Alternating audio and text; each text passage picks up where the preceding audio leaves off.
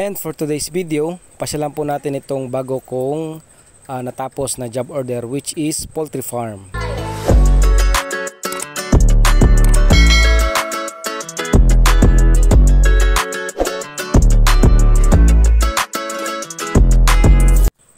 So dito gumagamit po sila ng ah, tinatawag na heater.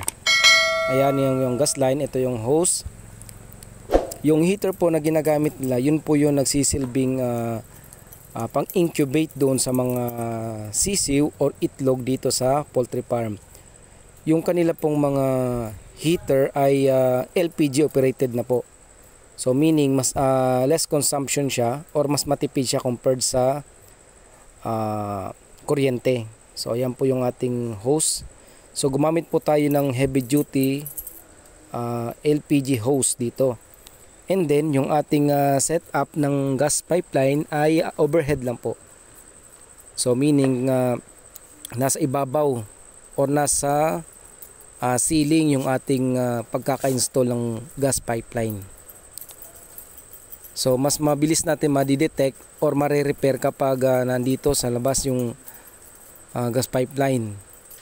So ayan po yung kanilang heater and then yung hose and then yung ating gas pipeline.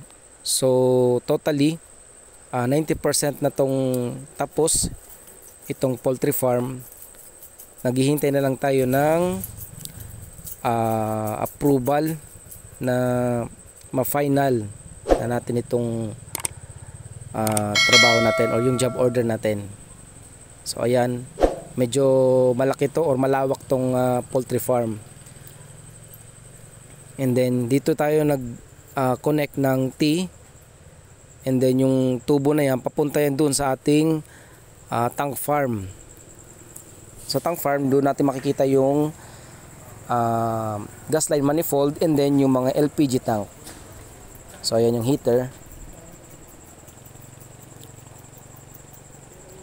And then sila nag-operate pa or ah, nagkakandak pa sila ng finalization doon sa ibabaw.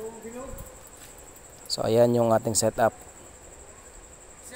So ganun pa rin, yung ating ah, gas pipeline is ah, pipintahan ng color yellow for standardization.